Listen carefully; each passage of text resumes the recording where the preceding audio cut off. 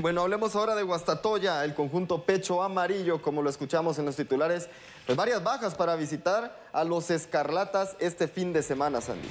Es correcto. Pedro me tiene que confirmar Jucup si es Ah, sí. baja por suspensión. Ya le confirmo. Ya me confirmará usted. Pero hablemos específicamente del caso de Corena, que sin duda alguna, como hablábamos de Municipal, que Gambetta es como el hombre, el, el hombre líder. eh, para, para Guastatoya, su referencia es sin duda alguna Corena y vaya falta que me imagino les va a hacer para este compromiso cuando enfrenten a Municipal, una ruptura fibrilar para, para el jugador y sin duda alguna baja rotunda para este compromiso. Eh, Luis Martínez, que su lesión eh, inicial eh, mostraba en su radiografía que eran 4 centímetros de ruptura, en este momento se encuentra ya recuperado de dos, falta cicatrizar eh, dos centímetros más.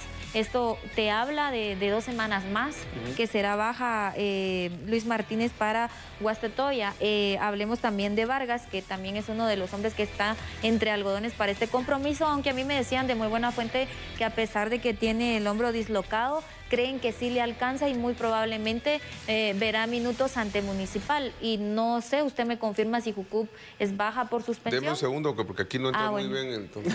Bueno, pues ah, hablemos de Ahora, esas tres que, sí sabemos a ciencia Así es cierta. exigente cuando le encuentro en el parqueo igual. Pedrito, mire, averiguó tal cosa. Eso, eh, deme un segundo, no, no es mentira, está cargando. Mm, Bueno, está Bueno, bien. eh, en el tema de Jorge Vargas, yo creo que era una de las principales incógnitas y dudas que teníamos, no solamente por el tema de Guastatoya, sino porque también está convocado con la selección nacional. Entonces, Sí. el hecho que pueda haber minutos con Municipal habla que podría estar para el microciclo de trabajo que comenzaría el 23 de febrero, o sea, a principios de la otra semana. Buenas noticias también entonces para selección nacional. Ahora, como titular contra Municipal, Eso lo desconozco. Más seguro te lo respondo eh, mañana y obviamente lo vamos a estar confirmando el viernes cuando presentemos eh, la probable alineación del equipo Pecho Amarillo. Pero eh, con todo y, y esa molestia que le aqueja, a mí me comentaban que, que sí es más seguro que él hará el viaje y enfrentará a Municipal. Jucup si es baja, este, un partido de suspensión. Sí. Entonces ya hablamos, eh, quitemos a, a Vargas Sí. porque yo creo que a Vargas sí le alcanza.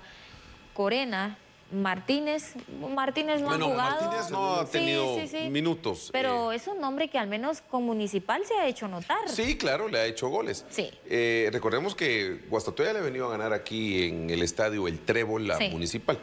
Que insistamos en ese tema del Trébol porque el Club Escarlata como tal quiere que se mencione más Estadio El Trébol.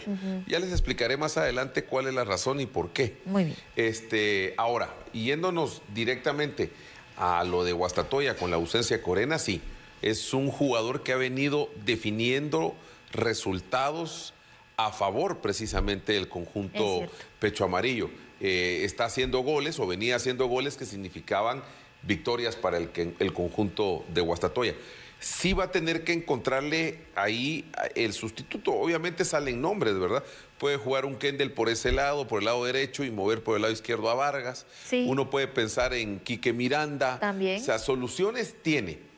Ahora, que estas soluciones te hagan goles como lo venía haciendo Corena, es muy difícil de poder decir que así será. Pero a pesar de esas bajas, yo sigo pensando que Guastatoya vendrá a hacerle un buen partido a Municipal. Adelante tiene a Landín. Landín conoce a Municipal. Sí, Landín conoce a Municipal, Herrera todavía no está, según usted Ah, me sí. dice, pero creo Tal que todavía vez no. le podría alcanzar, me Pero- decían. pero Herrera es De otro hecho, que- eso era lo que proyectaban, pero Herrera tampoco es que eh, hay que apresurarlo para Exacto. que esté. O sea, el torneo es todavía eh, eh, joven, hay que eh, pensar más adelante. Pero sí, la ausencia de Corena pesa en Guastatoya. Insisto, aquí lo que va a tener que hacer eh, Chapa es que el equipo eh, no haga eh, notar la ausencia Sí. de Corena. Trabajar mucho basado a que como equipo podemos resolver el juego. Sí. Porque estaba cayendo mucho en un solo hombre, que era Corena.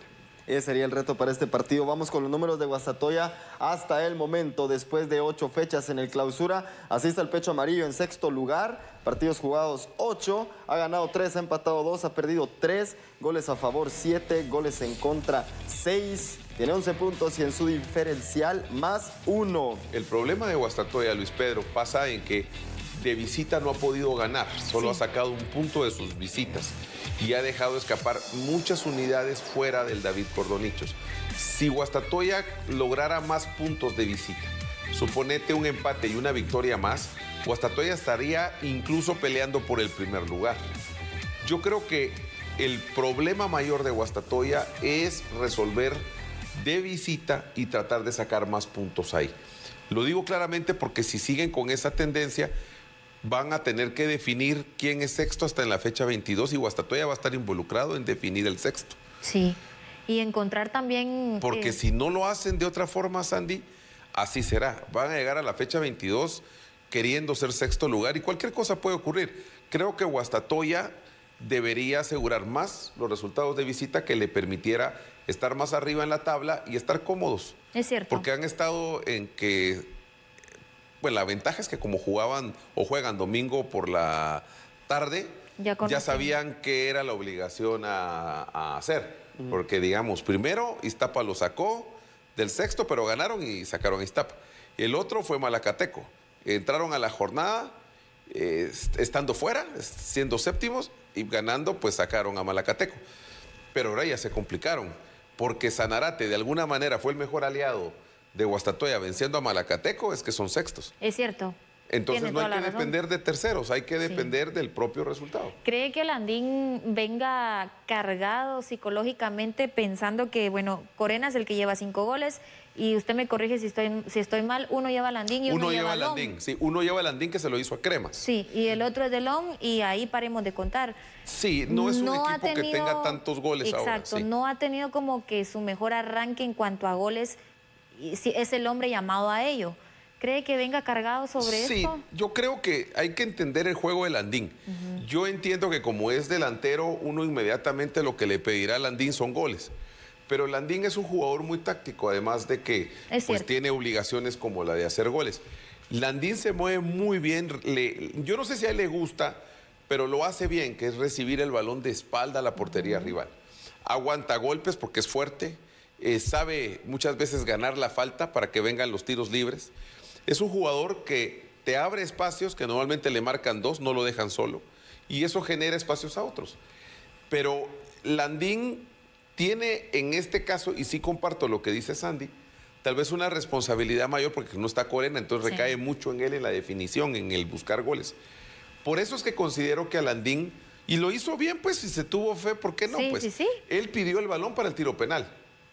Cuando en teoría a lo mejor yo decía, pues es Corena que viene pasando con más confianza en sus actuales momentos que te pudo haber definido, ¿verdad? Porque pues Corena venía haciendo goles. Pero igual aplaudo a Landín, pues fue valiente y Yo- yo- quiero el balón. Quiero Sí. salir de esta racha de no anotar. Perfecto. Y ahí se vio claramente que son equipos que se apoyan. Lamentablemente no le salió, ¿verdad? No pudo anotar con el tiro penal. Si trae presión Landín, pues claro que la trae. Porque ahora sí recae mucho en él. Sí, principalmente enfrentando a su ex equipo. Sí. Lo mismo que dije de Gallardo, lo aplico con Landín. Porque viene a jugar ante Municipal.